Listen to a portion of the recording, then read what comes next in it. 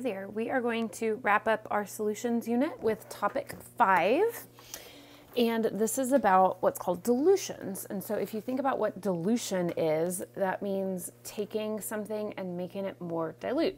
So, for instance, if you had like some really strong coffee and you added water to it, that would be diluting it.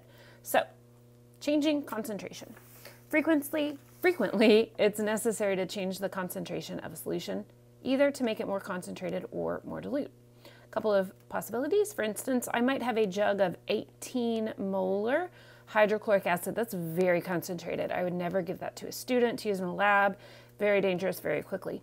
But I need 250 milliliters of one molar acid. So I don't need to buy one molar acid if I have 18 molar acid because I can just take that really concentrated stuff, add water, and dilute it to a more dilute concentration. Um, another example, kind of the opposite. I might have a very dilute solution, and if you evaporate some water out of it, the solution will become more concentrated. So if I have a solution of salt water, and let's just kind of say that it has four salt particles in that much water, that's a very extremely low example, but just to give you a visual. If I evaporate some water out of it, okay, the water level is going to go down, but those four salt particles are still in it. And so this would represent a dilute solution and this would represent a more concentrated solution. So if you change the amount of water, but you don't change the amount of solute, you're going to change the concentration of the solution. And that's what our um, topic is for today. And there's a pretty simple equation that we'll use for that. A couple of real life examples of this. Um, if you uh, work at Starbucks or if you get a job there someday, you might need to make an Americano. That's what I actually order when I go there. Uh, what they do is they pull a shot of espresso, they add water to it, and that makes an Americano. So espresso is incredibly strong and concentrated. Americano is a little bit more dilute. Another example, if you've ever seen one of these frozen juice cans that you buy in the frozen food section of a grocery store, um, you can add water to it to make juice. If you just eat the concentrate straight out of that frozen can, it's going to be real strong because it is a 100% fruit pulp, basically. Um, and then this last scenario that I put down here are IV solution bags. Doctors can put medications into an IV bag, and that would go straight into your bloodstream, but they have to create it in the exact right concentration. So they can figure out that if they measure out like a little bit of medicine and then put it into the IV bag, exactly what concentration that will be with this formula, and then they can make sure it's the right dosage. A little bit of vocabulary here. Um, if you're talking about a very concentrated solution to start, that's called the stock solution. Okay, so the stock solution is before you diluted it, then you add water and you have the diluted solution. This is very common in chemistry because again, we are frequently given acids, for instance, that have a very high molarity, such as 18 molar. It's um, basically less volume, and so it costs less money to ship it around the country. But we have that 18 molar in the storeroom, but we don't want to give that to our students, so we're going to use one molar. So we have to do that dilution process. It's very common. All right. The formula is right here. This is a very simple, straightforward formula to use. It's M1V1 equals M2V2. The ones means the original solution. Oftentimes that's going to be the stock solution. The twos means the solution after the change, so after water was added or evaporated. So I just like to think of it as the ones side is before and the twos side is after the change. This is not necessarily the order that these numbers are going to be given to you in the word problem, so you have to make sure that you read it carefully. I like to say that um, these problems here are like 75% chemistry and 25% reading, so you have to read it carefully. All right, so again, M is for molarity, V is for volume, the ones are before the change, the twos are after the change. Last note here before we practice, you don't have to use a specific unit for volume as long as the units match on both sides. So if this volume is in milliliters, that's okay as long as this volume is also in milliliters. Or they could both be in liters, As long as they match, you're good to go. All right, so let's do some practice. Number one, what volume of 15.8 molar HNO3 is required to make 250 milliliters of a 6 molar solution? So I'm going to kind of highlight that we have um, a question here what volume of 15.8 molar? Those two things go together. That's before the change happened. We want to know how much of that stuff do we need required to make 250 milliliters of a 6 molar solution. That's after the change occurred. So the 250 and the 6 molar go together, and then the 15.8 and the question mark volume go together. All right, we are going to solve these the same way that we did our gas law problems. We're going to start with a list, M1, V1, M2, V2. Do not skip this step if you want to get the answer right. All right, so the starting molarity before the change happened, it was 15.8 molar. And the question was what volume of that? So that is our question mark. So again, those two go together. They were before the change happened. Next, how much of that is required to make? So this is describing what I want to make. 250 milliliters of 6 molar solution. So the 250 milliliters is going to be my volume and 6.0 molar is my ending molarity. All right, so once you have that, you are ready to substitute into the equation. So copy down the equation, M1V1 equals M2V2. All right, now we're going to substitute our numbers in. So the starting molarity, and I just like to put all my numbers in units in parentheses to keep them clearly separated.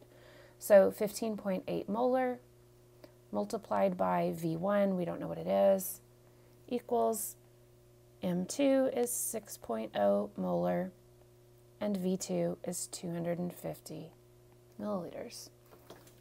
All right, final step is going to be use algebra to solve. These are almost uh, exclusively going to work out the exact same way. Um, to solve for our unknown, which is V1 here, we need to divide it by the 15.8. So we're going to divide both sides by 15.8 to get V1 by itself. Divide by 15.8, divide by 15.8, and so that cancels. And what remains, I'll highlight it, V1 equals 6 times 250 divided by 15.8. So grab your calculator, let's see what we get.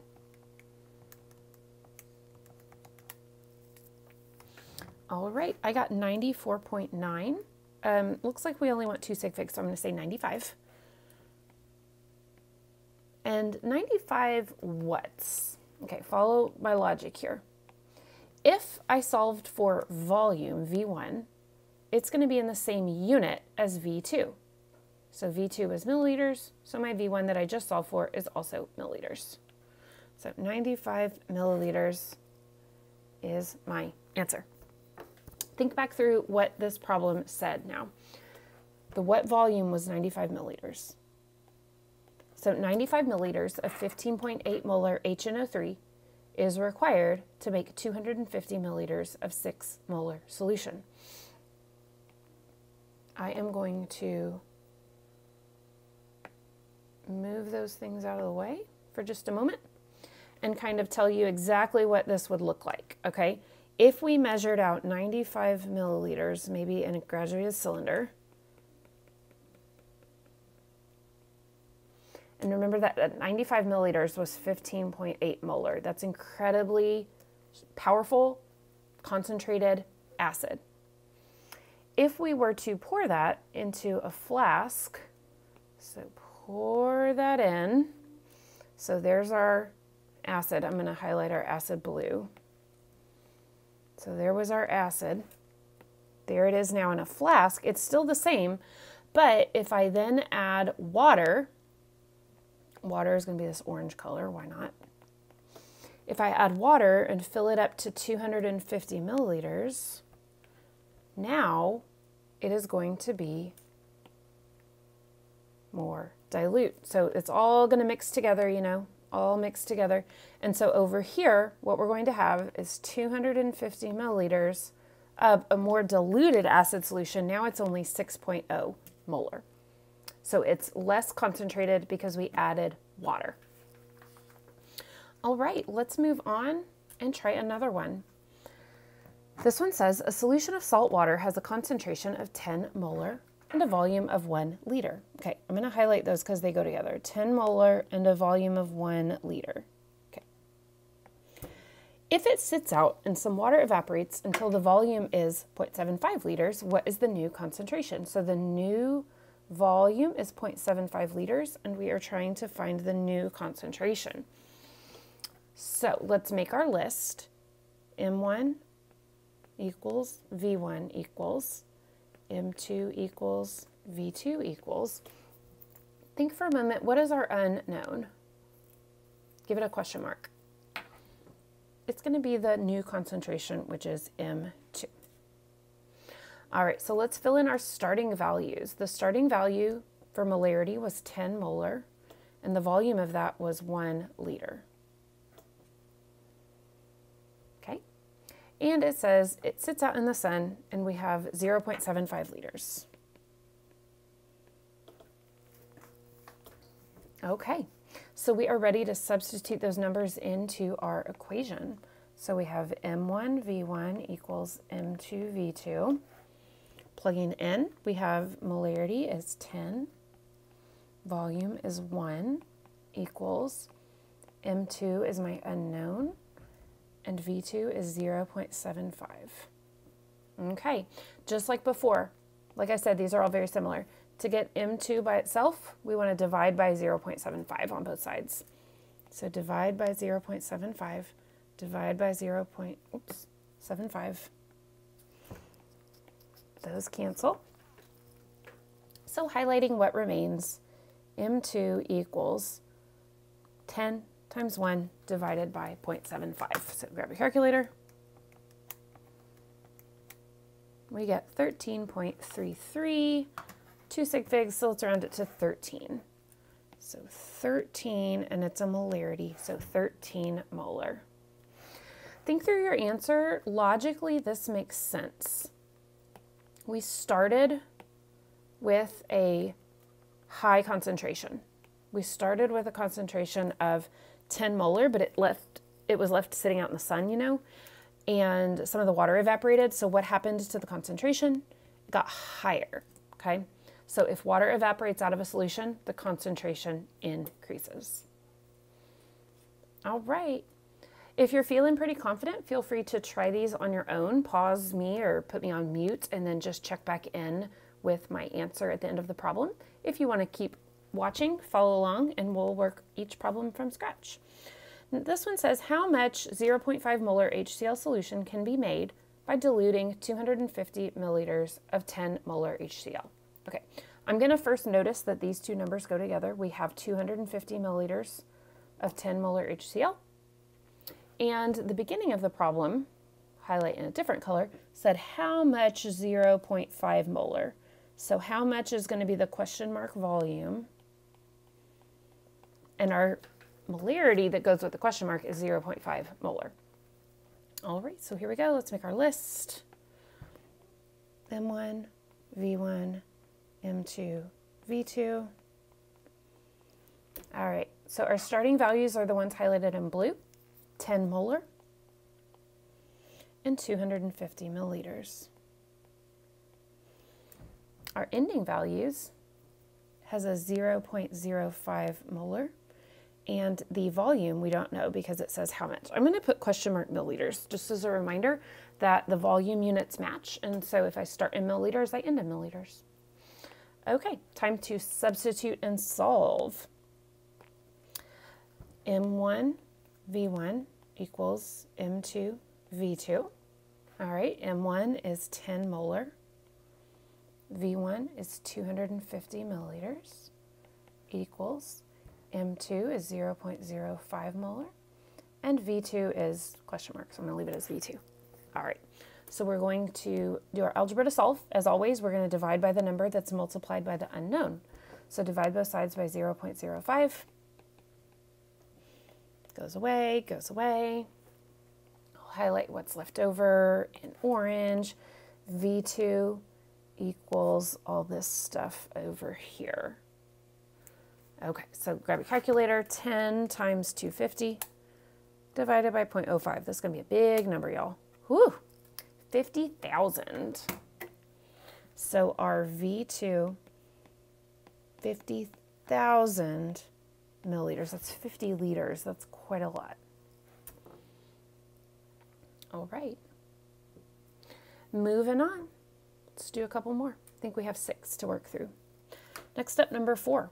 How much water would I need to add to 500 milliliters of a 2.4 molar KCl solution to make a 1 molar solution? Now, I, I bolded this word add, and I even gave us a hint. It says first find the final volume, then determine how much water you need to add. Okay, so we're gonna have to just think real hard at the end of this problem. That's fine. We like to think real hard. All right, so let's make our list. M1, V1, M2, V2. Let's think through what we know. like to highlight. I have 500 milliliters of a 2.4 molar solution. So I'm to fill that in as my M1, V1. 2.4 molar, 500 milliliters. Okay. And then let's highlight in blue. I want to make a 1 molar solution, so that's my M2. 1 molar. And so I need to know what my final volume is going to be so I can know how much water I need to add.